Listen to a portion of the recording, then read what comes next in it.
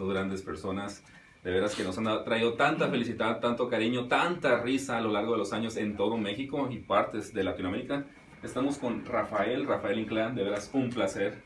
También con el primer director, su nombre por favor. Joaquín Bisner. Joaquín Bisner, de veras que venimos a promover lo que es la cultura Ajá. sobre una película que se está, ahora sí que se integró a nuestras filas, que ya, ya, la- ya había pasado en el 2007, ¿no? El- sí, pero el año pasado también trajo Joaquín otra de sus películas. ¿no? Sí, traje melate chocolate. Melate Chocolate también, que fue una increíble hit, ¿no? Joaquín, Joaquín Bisner, este, ¿qué, qué llevas? ¿10? Diez películas, sí. 10, fíjate, 10, la 10. Y yo participé, creo que fue el primero. En la primera, que En la primera que hizo Joaquín, que se llama Aquí Espanta, ojalá lo traigan ¿no? algún año al festival. Participé, me estaba diciendo hace rato que hace 25 años. Sí, cara. Eso, sí. ¿no? Entonces he trabajado dos veces con Joaquín, muy a gusto. Y pues soy un actor, yo creo que disciplinado, no sé qué opina el director. Sí, sí. Lo ¿Cómo se porta no. Rafael Inclán? A ver, Sí, vamos a contaros un poquito. Vamos a oír qué, qué que- opina de mí como... No, se porta muy bien. Es uno de los actores disciplinadísimos del cine mexicano. No con todos los directores, me consta. Alguna vez vi unas escenas ahí con directores que él consideraba que. Es que a veces te topas con gente que no tiene. Que tú sientes que no está acertado, pues. Exacto. Pero no, conmigo se portó desde el principio muy bien y, hicimos una buena amistad. Y a la fecha, después de 25 años, aquí estamos. Me llamó mucho la atención, Rafael, porque en cuanto entraste aquí al teatro, Sí. mujeres de 18, 28, 38, 48, 58, 68, casi ni se te lanzan ahí. ¿Cómo has llevado No, a no cabo? sé, no, yo y, no. y todo por lo que es lo cómico. Creo que, creo que la palabra no es el lanza, perdón. Yo creo que es una admiración por tus años de carrera y se muestran eh, con un afecto especial, ¿no? En ningún momento. Se le lanzaban a los Beatles, pero. Sí, No, también a Rafael. No. Ra- Rafael, ¿todavía crees en el amor? De una mujer, claro, lo estoy buscando. todavía. No, Todavía, siempre. ¿Siempre lo has buscado? Siempre hay que seguirlo buscando. Rafael está abierto. Bueno, como- si es que no tienes la tuya en la casa, eso me refiero. Ah, no, no, claro, Y exactamente. como no tengo ninguna en la casa, lo estoy buscando. Pero no por medio de la fama ni de mi trabajo, sino por, por mi persona. El corazón. Rafael, ¿qué te ha dejado todos estos años de hacer feliz a la gente?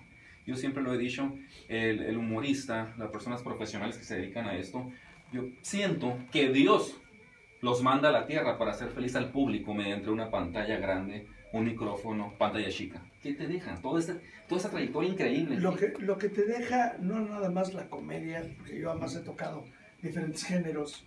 Cinematográficamente, ¿cómo se llamarían? Melodrama, tragicomedia. Sí, géneros, subgéneros. ¿no? Eh, He tocado con el señor Arturo Rimstein, con varios directores. Eh, inclusive el trabajo que hicimos en Aquí Espantan era un trabajo serio, que es lo que hacía reír, ¿no? Entonces soy un actor que ha ido aprendiendo a manejar los géneros. Y lo que, lo que es rico, la risa es una enfermedad, pero lo que es rico también es agradar en tu trabajo, tanto en teatro, en cine, en televisión.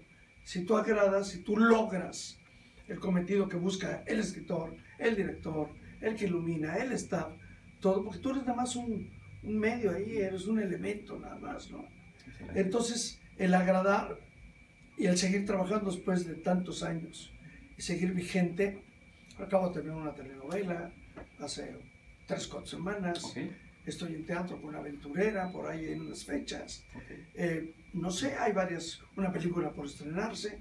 Entonces, eso te da una satisfacción y un, lo que veníamos comentando de las carreras, un saber que no te equivocaste a lo que te dedicaste. Perfecto.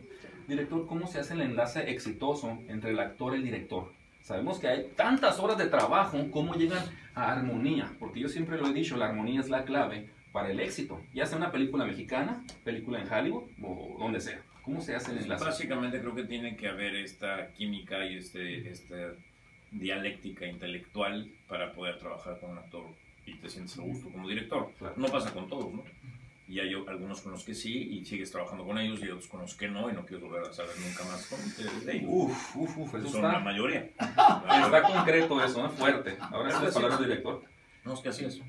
Una de las palabras curiosas antes de hacer esta entrevista, me decían las personas, estamos en el área de San Luis, Arizona, lo que es Arizona, San Luis, México, en Sonora, Mexicali, Baja California, a Rafael Inclán le gustan los tacos de carne asada. Sí, Algo más o últimamente, menos. últimamente, no, pues yo soy mexicano, me gustan todos nuestros toda nuestra cocina que es maravillosa y surtidísima. Pero bueno, con la edad también tienes que cuidarte del colesterol, no triglicéridos, todo eso. Entonces, eso te temperas, pero no dejas de probar lo rico que es nuestra cocina. Me fascina todo. Ok. Bueno, ha sido un tremendo placer estar aquí con el director y también con Rafael Inclán, un tremendo, tremendo actor que todo el público aquí en México pues lo sigue, ¿no? Y lo quieren. Hay mucha gente aquí que, que te alaba. De veras que cuando vimos que llegaste, la gente rápido empezó a, a estar, ¿no? Son muchos años también. Son muchos años. Entonces, eso implica varias generaciones que te han visto, ¿no? Y las que falten, que me vean, ¿no? Bueno, perfecto. Yo estoy seguro que vas a seguir con muchos años. El éxito ya lo tienes. Todo, todo tu público que te quiere te desea mucha salud para que nos sigas brindando mucho amor, mucho cariño, eh, mucha, mucha risa. Llegan las personas del trabajo estresados y quieren ver una buena película del señor Rafael Inclán. Gracias, muy amable. Muy amable, mi nombre es Cristian Guerrero Fernández. Muchas gracias a todo el público.